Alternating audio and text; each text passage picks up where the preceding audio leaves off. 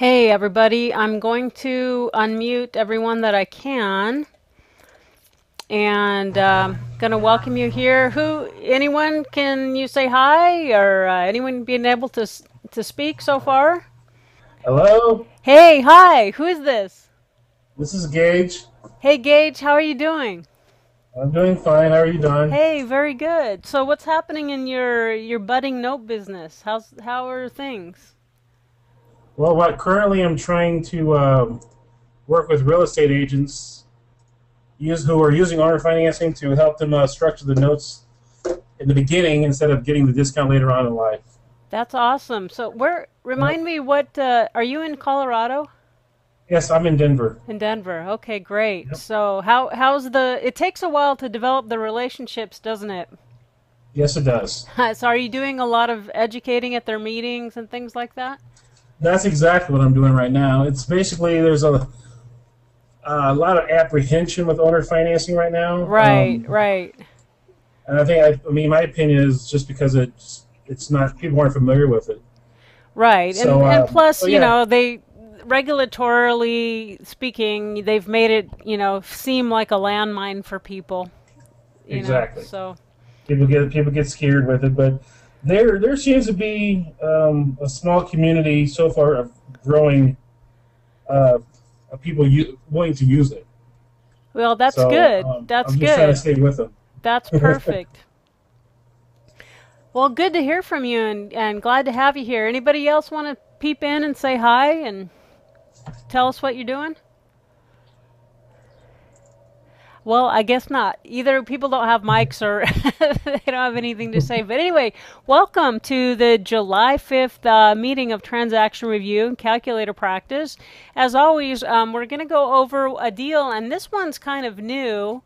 Uh, this is actually one I'm closing on uh, next week. I almost never, ever, ever, ever buy seconds, and this is one I'm buying. So, uh, you know, feel free. As I'm going to leave the line open as long as it doesn't get too, um, you know, too busy or too noisy. So that great. Oh, hi Kay. She's saying I don't have a mic. She's not trying to ignore me. Thank you, Kay.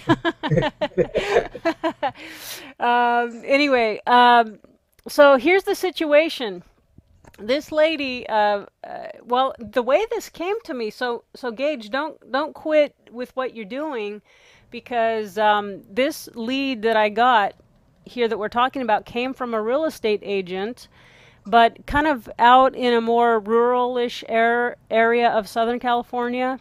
And Mhm. um, she's quite familiar with owner financing. In fact has carried property on uh, you know farmland that she's bought and sold. And so she has this client that had this this note that we're talking about and this client could not you know shopped her note around everywhere and it's non-traditional and uh, so she couldn't get uh, a decent price for it or no one basically no one offered her anything except a full per, uh, full purchase and so when I came along with the partial idea all of a sudden we had a deal and it made sense for everybody so we're just going to go over this please uh, you know, speak up if you can, or type uh, in the chat, uh, the chat button there, or whatever. Um, I wonder. It says I have questions here, but I don't see them popping up. But you know, you guys know how to use the chat chat feature.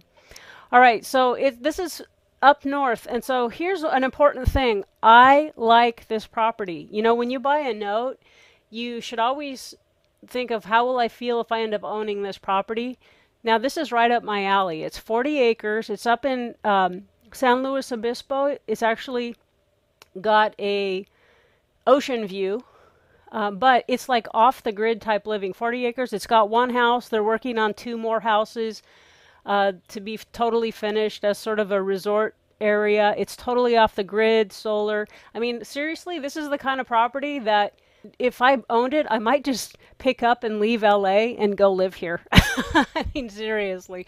So that's an important thing. Like, if this was a property I didn't like and I didn't resonate with this, I, I may not have done this deal. So that's just an important consideration. Oh, hey, hi, Mike. I see your greetings. Thank you so much.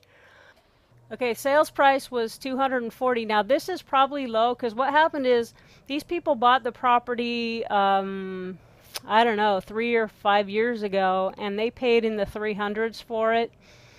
and uh, the problem was they ran they run into financial problems, so they ran out of money to uh, finish out the entitlements and getting the road built and everything like that. Um, so anyway, they ended up having to sell for uh, th-. This is like 150,000 below the appraisal that they had just like a year ago. Okay, they took a pretty small down payment, right? So 240 took a $30,000 down payment. They had a $75,000 first, you know, on it already, which when they went to sell the property, the the guy that did this private money loan who lives down here where I do, he he he let the loan ride to the new buyer. He let them assume the loan because uh, he liked the strength of the payers, and we'll touch on that in a minute. So they took over the first $75,000 private loan. I can't remember what it is, 10 or 11% interest only. And then they, they carried back the balance, which was so if we got a $240,000 price minus $30,000 down payment minus the $75,000 first, then we see what the seller carryback second position loan was. They gave him a screaming deal 6%, amortized over 30 years.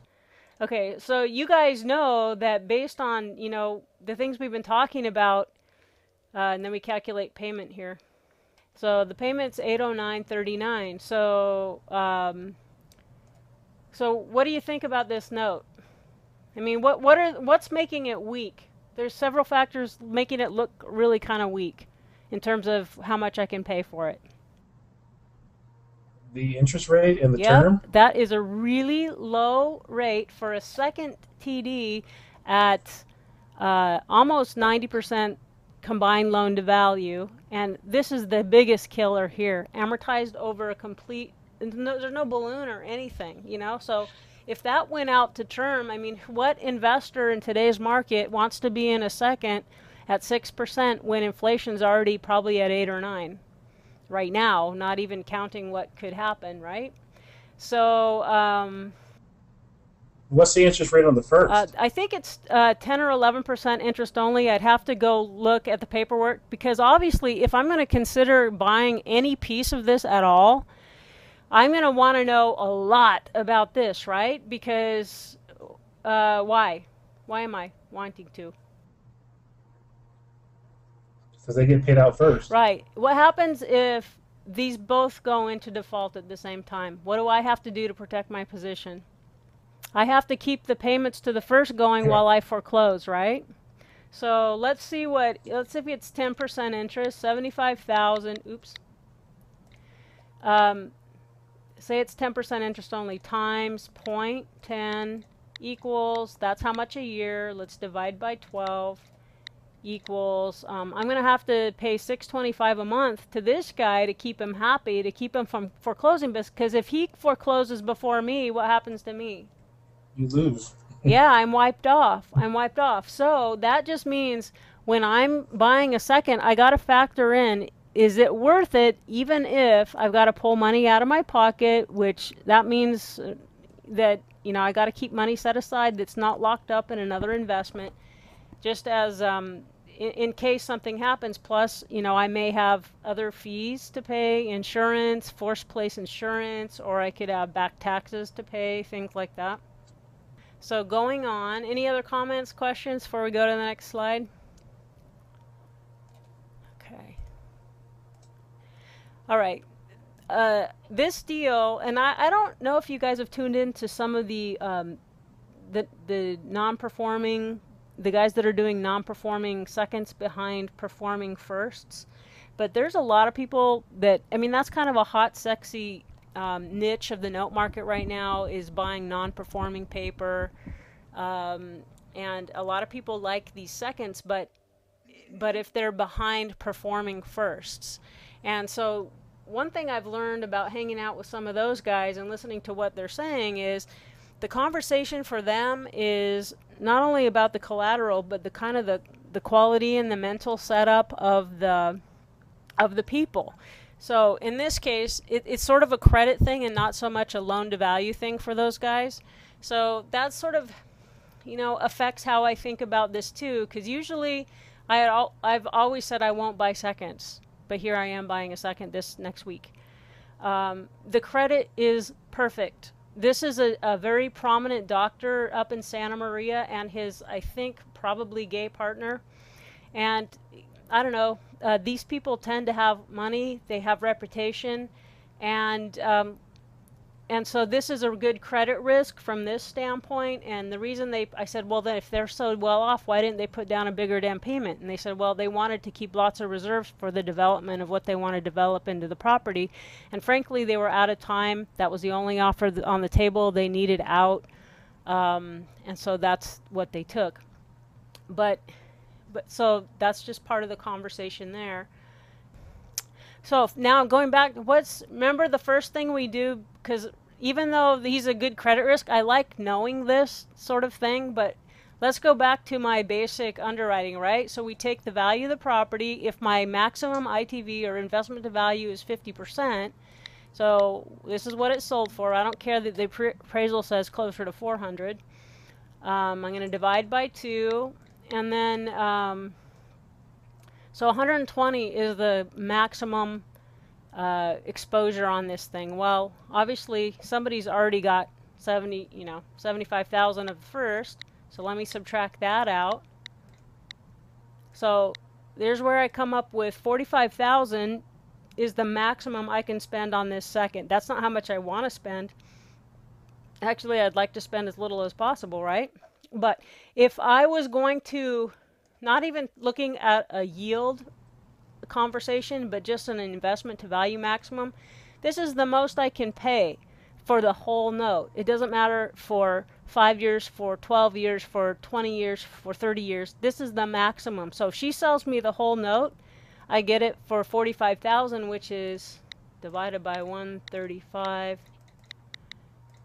That's 30. She has to take 33 cents on the dollar to get all her money out of it, like that, right?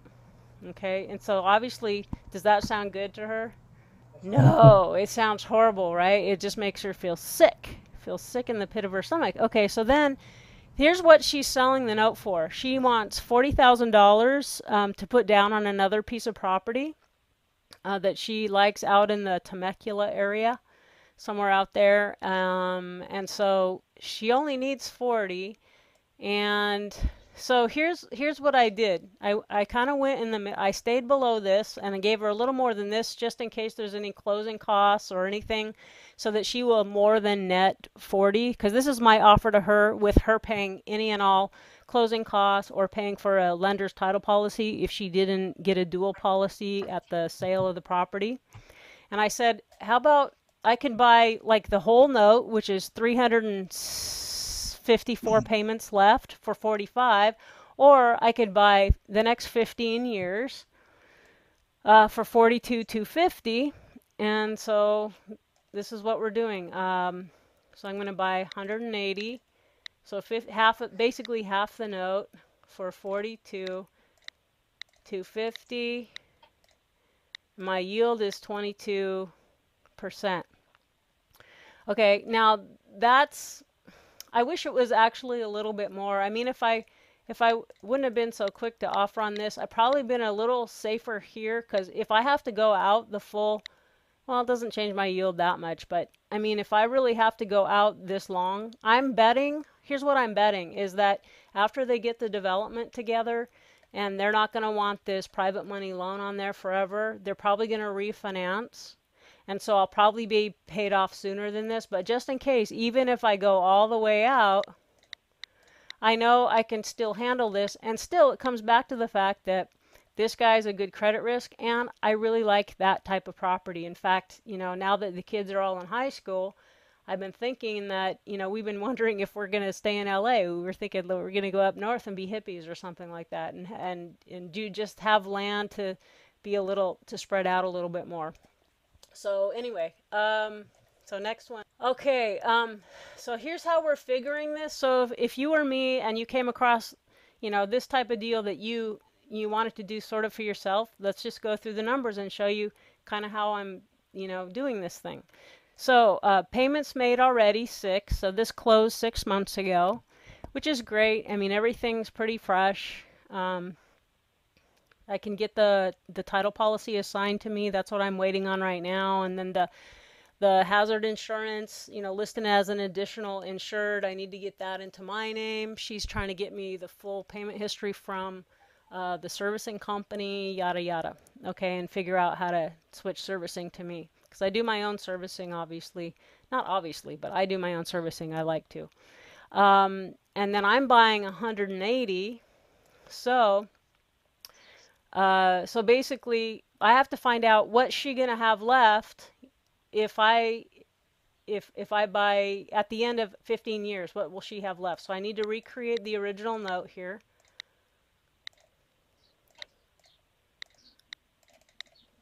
Probably this is uh, boring for you people that have been with me for a while here, but okay. So here's the original note. Now let's go to the amortization. So now um, I have to go down to 186 and see at the end of 186 payments, what will we have? And here it is, 93, 913. Okay, so this is how I, you know, told her the deal. Um, you'll have, when you get the note back, you'll have 93, 913. You'll have the, the down payment you got from the buyer six months ago. You'll have what I'm paying you, 42, 250. Um, you already collected six payments, 48, 56. So for your 135,000 note, really you're getting 171.19. Does that sound better than 33 cents on the dollar? Yeah. Just in case everyone's asleep already. But anyhow, so so that's what we uh, so she could yes so that will not chop her off at the knees right? What we're doing is preserving her paper asset so she doesn't have to take such a steep steep discount because like i said what's what i can only give her 2500 more for the whole thing so she might as well keep it. Um, and she's still going to have enough to do her next uh, investment which is to buy this piece of property out there in, in southern california so it, it works out good for everyone. And I'm staying, you know, I'm staying safe. I've got a nice investment on a property I like, secured by you know some really strong payers. But here's things that you know I'm thinking out loud about. Um, like I said, I need to see the first deed of trust because he's in front of me, and I need to keep on track of that. In fact, probably reach out and give this guy a call, and just to create some rapport, so that if anything goes weird, um, you know, he can let me know and give me the chance to buy him out or whatever, you know, if it comes to that. Um, other things. In the worst case scenario, like I said, I'll have to keep the first current. That is spells opportunity cost. I can't I have to keep some money in reserve. It's kind of like having a rental property where you have to keep some reserves for um, repairs and maintenance and things like that. Um, also, uh, you know, that I mentioned, there's a good possibility that this loan may be paid off sooner than 180 months. Um, and so I want to show you like what that would look like and how I figure out, um, you know, part of the contract is figuring out what that partial amortization looks like if there's an early payoff. Because obviously I don't get the whole note. If this pays off in two years, then it's not like I'm stealing the whole note. She still got the tail end. And, and I'll show you how we look at that and um, and I can pay an investor 10% and keep the spread. And if anything goes sideways, so I've got it under contract at 22, and I'll pay 10 on it. And and like I said, if anything goes bad, then I take care of it. Like it'll be my money out of pocket to keep the first current, to foreclose, to do any sort of uh, remedies for default, whatever it takes to get the um, to a return of the capital or get the note reperforming. Um, so if I did that, let's see what it would be like. Um, we said I was buying 180 um, payments, and we were saying 42.5. So let's say I want to just, you know, have a little money to buy groceries. So let's say um, 44,000 I'll take from an investor, and then what will I get? Uh, what 15, 1750 at closing. Okay, so that helps me with my due diligence, with any closing costs, and just a little money on the table and, uh, for me to keep my expenses going. So if so, so if you can be thinking of this if you have investors who have money and you find notes you want to buy this is how you can be thinking uh, and doing what i'm doing is use other people's money not just to broker them notes but buy them yourself with other people's money. You can take a little bit out front like i'm doing here. I don't suggest a huge amount. Um, i think it's more an integrity when most of your profit comes as the note performs. That way they know that your interests are aligned with theirs. Uh, but I think it's fair to take you know a little bit out front because there are operating costs that we all have.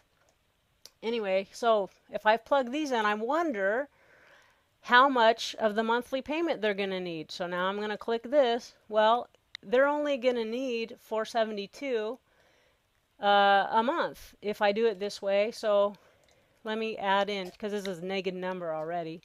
Let me find out what my spread is on this. So I'm going to make $336 passive income on top of this. And like I said, a lot of that I'll be putting aside as in a reserve type of account, but that's pretty decent. Uh, and but here's the thing: I might find someone who doesn't want to hang out for that long. Okay, May, they might want uh, only a um, maybe they say I only want a, a seven-year commitment, so they only want to be in 84 months. So if I need to get them all paid in seven years, here's how much of the payment they're going to need.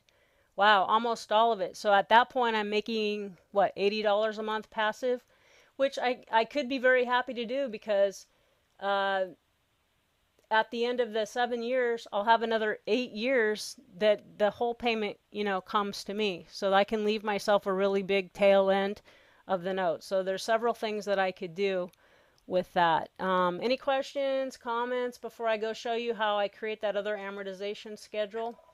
Then in real life, how do how do we do this thing where um, where I'm buying this part? How do we figure this out? How are we going to figure out the uh, how that works? So I'm going to go to I have to bring up VirtualBox. This is the little thing that gives me a, a, a PC on my on my Mac because T value and Notesmith and things like that only work on a PC. So I have to have this little PC inside my Mac. So it, it works okay, but it's not my perfect picture. So anyway, this is what the T-value icon looks like. I don't know if you can really see that, but if you don't have it, um, you should get it. I think it's only $150. It's a really good program and um, helps you do a lot of stuff uh, quickly. So let's just say Okay, first off, before I get into showing you that, let's figure out how much of the note I'm buying. Does anybody know how?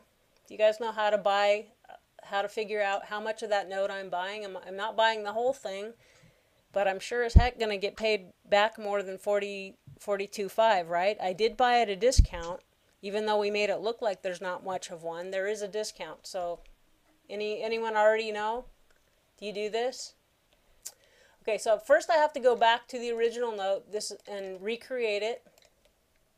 Okay, and then um, it's at six percent. I just I just go and recreate the whole note again, so all the numbers are in the system. Now I out of this original note, here's how I get what what part of the note I'm buying. So I'm not buying 360. I am buying at, at this 6% interest rate of how the note was written, I'm only I'm buying 180 payments. So I'll put that in there. And then I come over here and press present value. I'm actually buying 95 almost $96,000 of this note for 42 250 so that's like 50 cents on the dollar for that portion right so that's the number I take and hopefully I'll leave it here let me go back into this computer here. So then I'll say um, San Luis Obispo second.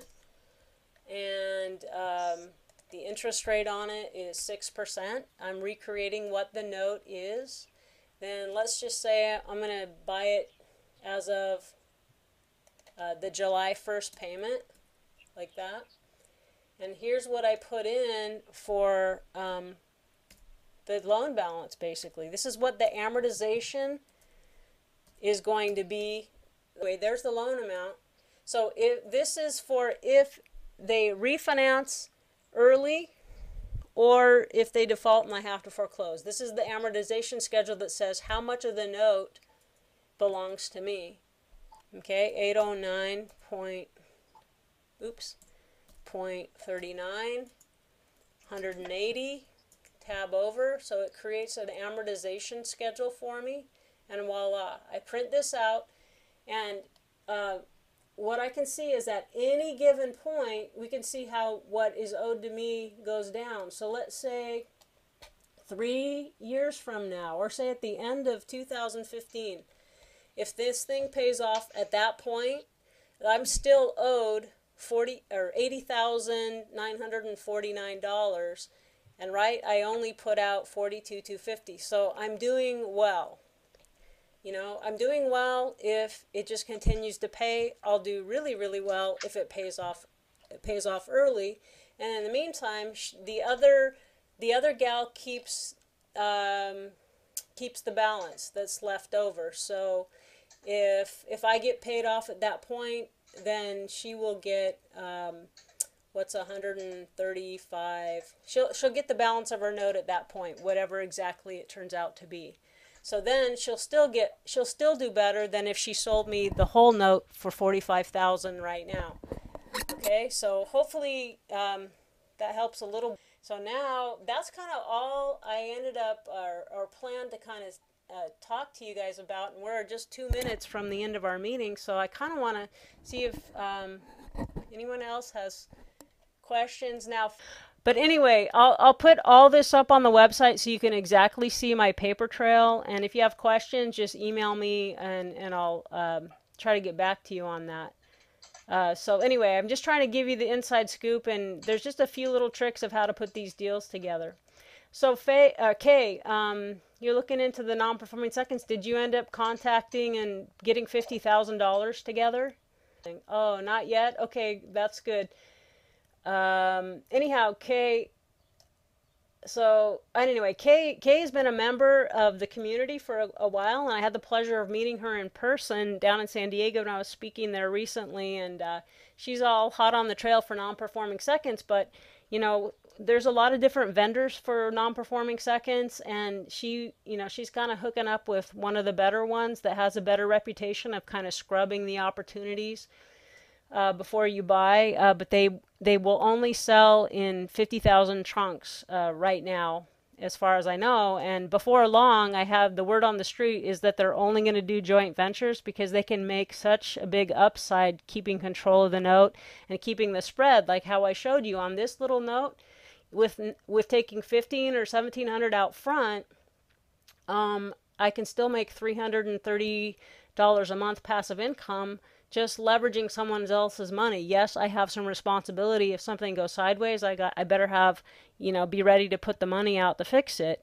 But but still, you can see that, you know, that there's a good opportunity of not just brokering. I think it's much better to buy with other people's money and, you know, figure out how you need to what you need to learn to attract that kind of trust and put the deals together and so you can make passive income um, using other people's money. I, I love passive income even more than like big commission checks almost because I just love the freedom that I see building up when my passive income goes up a little bit more every month. It's really fun.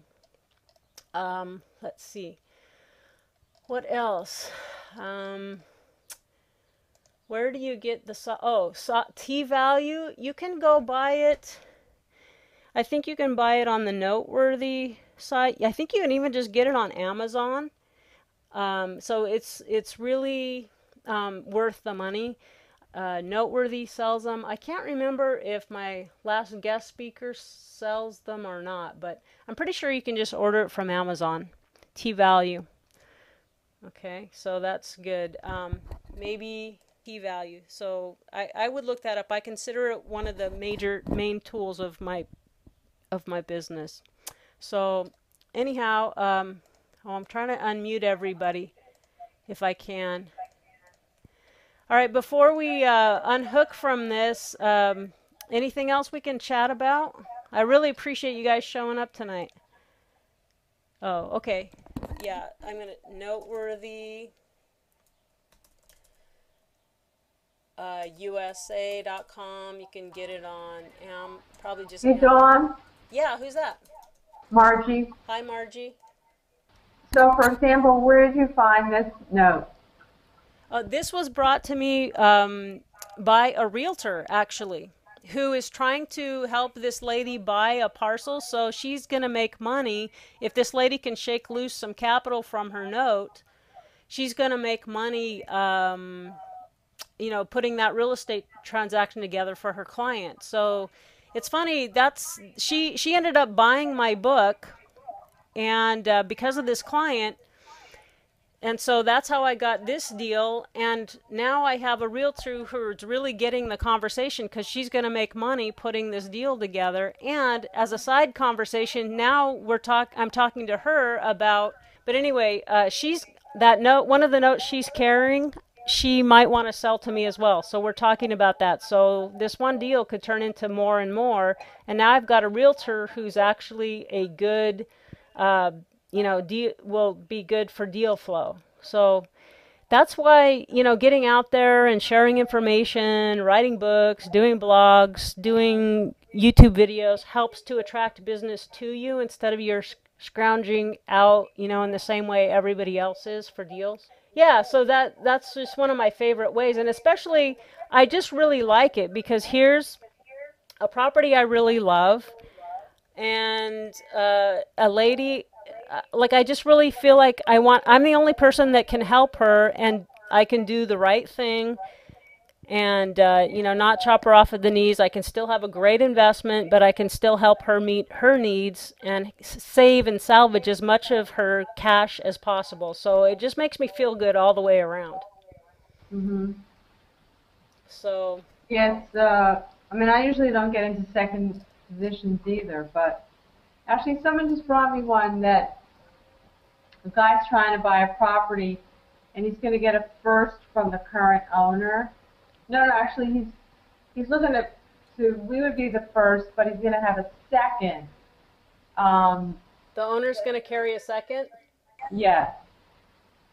hmm well you're in first still right Yeah. But the problem is he his ratios are not of what he's putting in is not what I typically like. You know, mm, he, yeah won't have really 35% in because of what the current owner is going to put up for him. yeah Well, is he is the seller are you there are they asking you to buy the seller out? Uh, no, they're asking me to fund uh, the guy who's buying the house. Is looking for. He's, you know, he's really good credit. He's got a great job. He makes a lot of money. He's got like, I think it's, I don't have the numbers in front of me. I think it's like a three hundred thousand dollar purchase. Um, it has income because it has, uh, it's non-conforming. That's, it has two apartments on the property, Uh-huh. and that makes it non-conforming, so he can't get money from a bank Right. which I didn't realize that. That's the new one I just learned. Well, so what's he how much does he want from you total for the first, right? Yeah, he wants. Um, I think he the. Think he wants me to put. The, he wants me to put up. Uh, he's gonna put up like a hundred, and then the guy who currently owns it's gonna put up seventy-five, and then he wants me to put up the balance. So you only have to come up with 125? Um, yeah, I think, or maybe no, it's got to be more. I think it's 175. Maybe it's 350. So you know, in other words, my my um my loan to value, I think, based on what he's putting in, you know, he's he, normally I require someone to put in 35%, but he's actually only really putting in um 20% or 25%. Yeah, but I'm confused, but won't you be in first position though? Yes, I would be in first. yeah, he said the current owner would sit in second position. That's Well, correct. That sounds all right to me actually. But, you know, all things considered, if it went if it went sideways, then you're looking at a pretty low cash dumping price because of the non-conforming, right? Yeah, see, it's illegal. It's more the the, the number side kind of works. It's the question is the legal question, really. Which I need to write to my lawyer because I don't know what you know. If it did go south, I don't know where how we then relate to the guy that's in the second position. Oh, you he'd either have to keep you current and foreclose himself, or you go to foreclosure and he gets wiped off. So you're safe. Uh huh. So if you're only if you're in at fifty percent or less, I that to me that sounds like a, a, a reasonable deal. But but yeah, you know, you should check out always whatever makes you feel comfortable. But like check this out. Like if I was gonna loan money on a if I was to loan you know, just loan money to this guy, would could I make 20%? I mean, really, could I make 20%?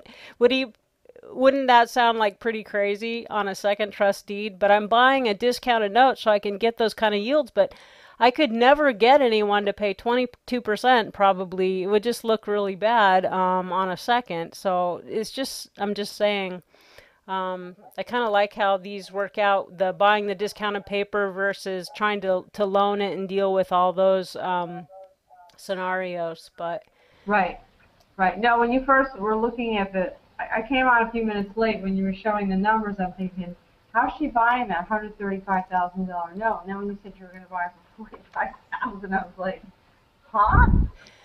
yeah, I mean that's uh, that sounds pretty crazy, but um, but that's just my maximum ITV right now, right there. You know, maybe sometimes, um, you know, on a if it's a first position, I might sometimes go up to sixty percent.